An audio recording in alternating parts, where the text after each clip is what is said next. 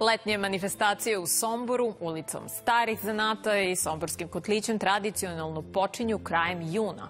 Vanja, kakav je program ove godine, šta je pripremljeno za Somborce, ali i za turiste?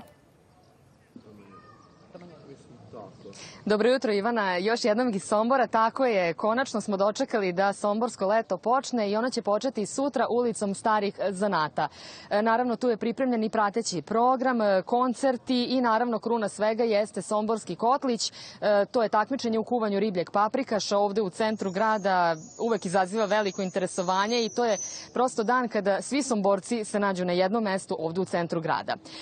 Sutrašnji koncert će imati naša sugrađanka Zorana Iđuški koja inače možemo da se ponosimo i vokalna soliskinja i e, televizije Novi Sad i RTS-a, tako da eto ona će nam nešto malo više ispričati o tome šta je pripremljeno za sutra, kakav program nas očekuje i da pozove naravno sve turiste i Somborce da dođu u naš grad.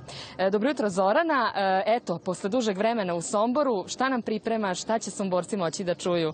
Dobro jutro, Vanja. Eto, mogu da kažem da mi izuzetno čas posle četiri godine da sam napokon u Somboru i u svojoj scenu među svojim sugrađanima. Sutra ćemo svečano da otvaramo mi muzički program, što mi je izuzetno zadovoljstvo sa mojim tamburašima. Prvo, naravno, je vojvođanska muzika ovaj, na repertuaru, a kasnije starogradska i eto, narodna, naravno.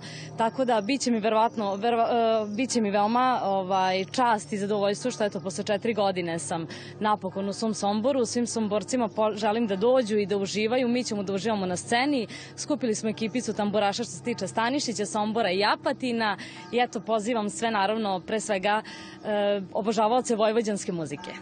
I kako je nastupati na jednoj ovako velikoj manifestaciji za Somborce, znamo?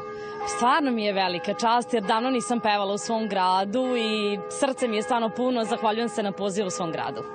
Hvala ti, želimo ti uspešan koncert e, sutra.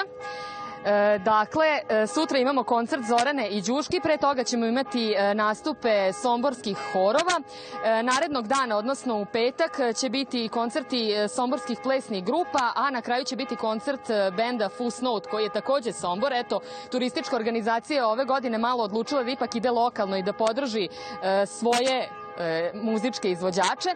I e, kažem e, u subotu je Somborski Kotlić, e, tu ćemo imati ipak malo nešto e, poznatije na nivou Srbije izvođače, pa će nam porodica Rokvić uveličati veče, a na kraju večeri ćemo saznati ko to u Somboru i okolini kuva najbolji riblji paprikaš, jer kako kažu, ovde je taj specijalitet se najbolje kuva kao nigde u Srbiji. Eto, toliko Ivana, pozivam tebe, pozivam naše gledalce da bar, eto, dođete ovih dana ako možete u Sombor i da uživate u onome što smo pripremili, jer verujte, bude zaista lepa manifestacija. Vanja, hvala na pozivu. Svakako biće veoma uzbudljivo i zanimljivo ovih dana u Somboru.